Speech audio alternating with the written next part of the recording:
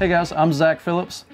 And I'm Mary O'Neill Phillips, and this is Forrest Gump, and we're from Country Outdoors. We film an adventure tour on the Outdoor Channel, and we use the camper for our home base. We've had so much fun over the last year in and out of hunting camps, fishing, hunting turkeys, hunting deer, playing with our dog, and guess what? We have some RV pro tips just for you. These are our RV pro tips for everything that you need to know as a first time RVer.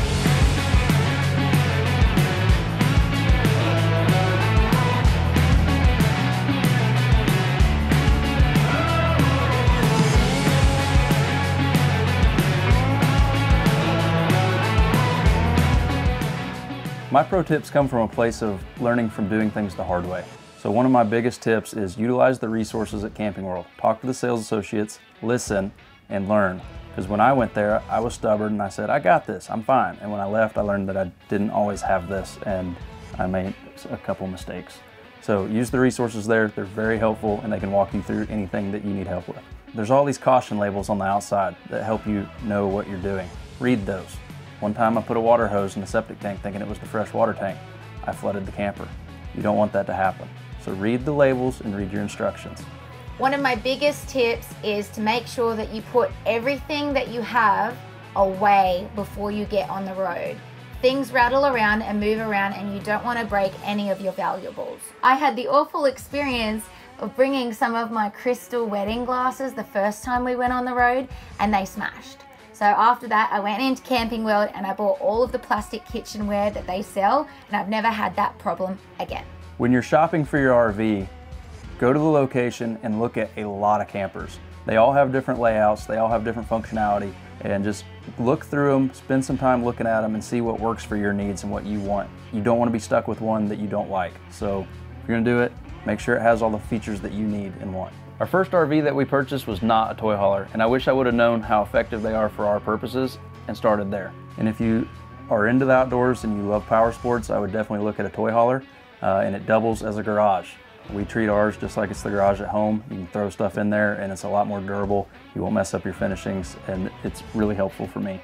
Get yourself some outdoor mats and chairs. It's a great way to extend your living quarters and give you some space to hang out. You can also make it look really nice and cozy out there and I absolutely love to decorate the outside as much as I do the inside.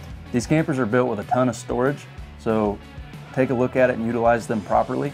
I have a ton of camera gear when I'm on the road and I need to keep this place as decluttered as possible so my wife's not yelling at me. So use the storage. Most of them have a ton of good storage spots. Some things that first timers might forget to do when setting up camp would be to put the jacks down. You do need to do that, especially if you're somewhere like here in Kansas where it's 50 mile an hour winds or you're going to have a very rocky sleep.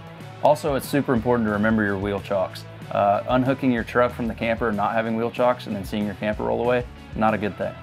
One of the most important pieces of equipment we have on our campers are generator. We spend a lot of time in the middle of nowhere and having power so that our lights work and we have heat is huge. Also, make sure you have enough propane. Pack extra propane because it gets pretty cold here in Kansas and three nights ago, I forgot to get propane. Woke up and it was 35 degrees inside the camper and you do not want that.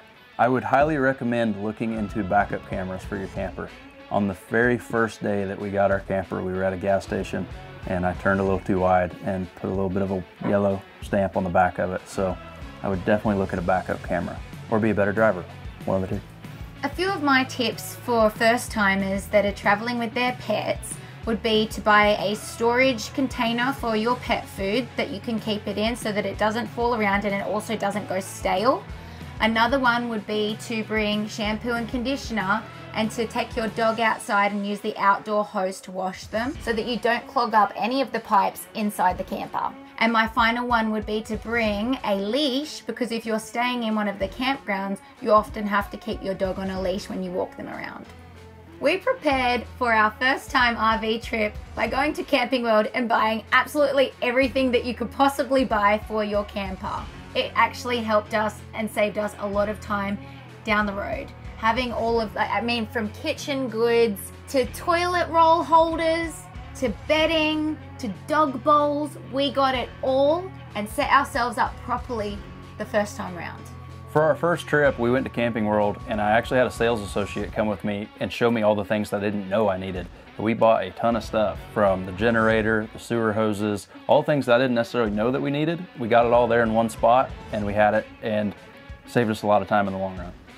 But one of the great things is there are camping worlds all over the country. So if we ever find that we didn't have something like the cast iron pots that I just bought, which is a special treat, you can go to another camping world store. We've only been RVing for a little under a year now, and one thing I would say is just don't be intimidated by it. Uh, when you first look at an RV, I, I, can see how it would be intimidating, but Camping World has tons of resources available and great staff that you can talk to.